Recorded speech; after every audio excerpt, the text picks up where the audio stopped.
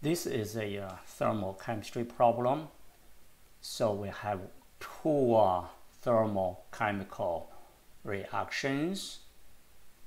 And for both reactions, we know the enthalpy of reaction. Now our job is to find out enthalpy of reaction for this equation for the third chemical reaction. I prefer to call that this the target reaction. Okay, so we need the help of the Hess law.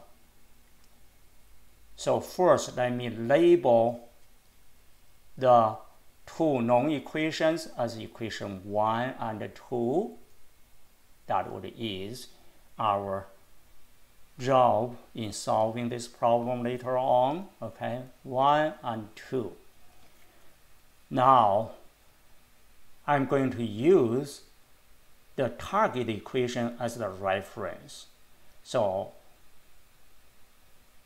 using that reference,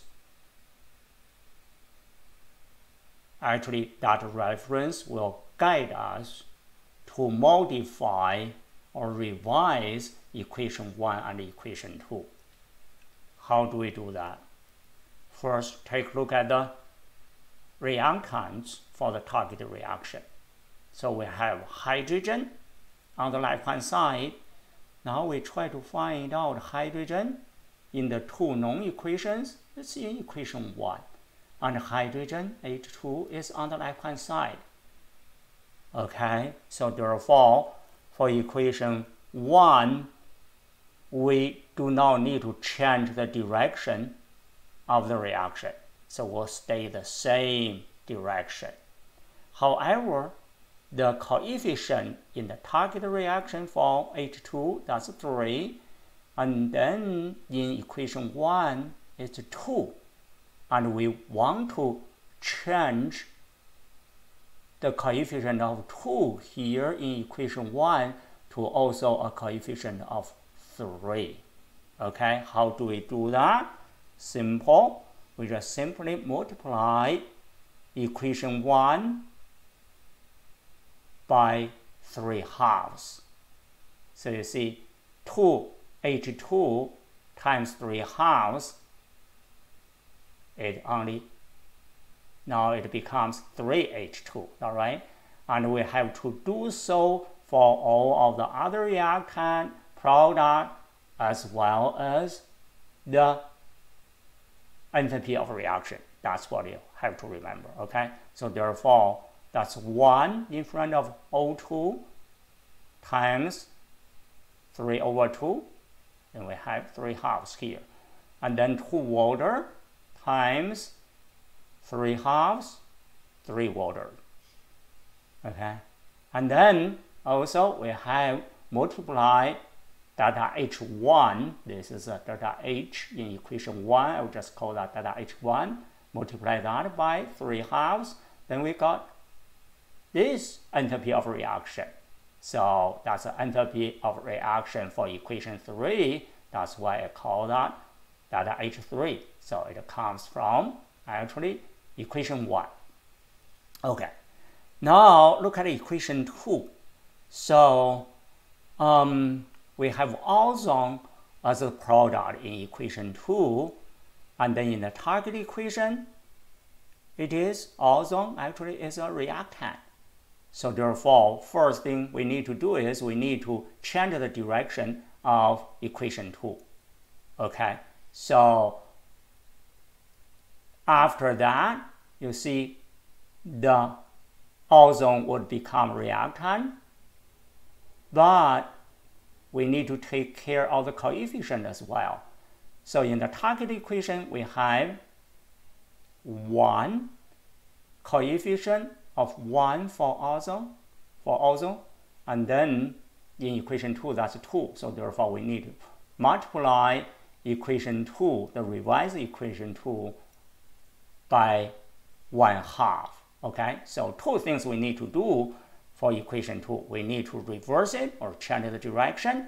If we change the direction, actually we have to change the sign of the reaction, okay? Then multiply by 1 half, okay? So first change the direction. You see then ozone would become the reactant. And then O2 would become the product, okay? And then the sign of delta H need to be negative now, okay? And this, of course, is the result of after multiplying one half. If we look at this original equation, okay, 2 ozone times 1 half becomes just 1 ozone molecule. And then 3 oxygen molecules multiplied by 1 half, then that's 3 halves oxygen, okay? And then, of course, the absolute value of uh, 285.4 multiplied by 1 half or divided by 2, that should be 142.7. So the ne this negative sign is due to the first step. So we reverse the reaction, the direction of the reaction. That's why we change that to negative. Okay. And again, this is from equation 2. So now we call that equation 4. Okay, finally, we are closer to uh, wrap up uh, the solution of this uh, question. So now you see if we add equation 3 and 4, then the sum of that addition would give us this target equation. Okay, so let's do that. So on the left hand side, we have H2, and on the right hand side, we don't have any H2 to cancel that. So therefore, we have to have the 3H2. Okay. Now, oxygen, 3 halves oxygen on the left hand side, and then we also have the same on the right hand side. So therefore, those two they are cancelled. Then what else on the left-hand side? Look at the equation 2. So there's nothing left in equation 1. We already took care of both of the reactants. Then for equation, uh, the original equation 2 or equation 4 now, so that's ozone. One ozone, we just copy that because there are no ozone molecules on the right-hand side. Now on the right hand side, we know this oxygen molecule that's already gone, already cancelled. Then we just have three H2O. Okay, and now let's take a look. 3H2, that's 3H2 in the target reaction, one ozone molecule, one ozone molecule in the target reaction. And then in the target reaction, we have three water molecules and now the sum of equation 3 and 4 also three molecules. All right, bingo. So this matches the target reaction. Then the delta H is for this reaction is the one that is wanted. All right. So since we add equation 3 and 4 for the chemical reaction, we have to do the same for the delta H values. So therefore, the delta H of reaction for uh, this uh, sum reaction or equation can be calculated by using the sum of delta H3 plus delta H4, which happen to be negative 868.1 kilojoules. So therefore, B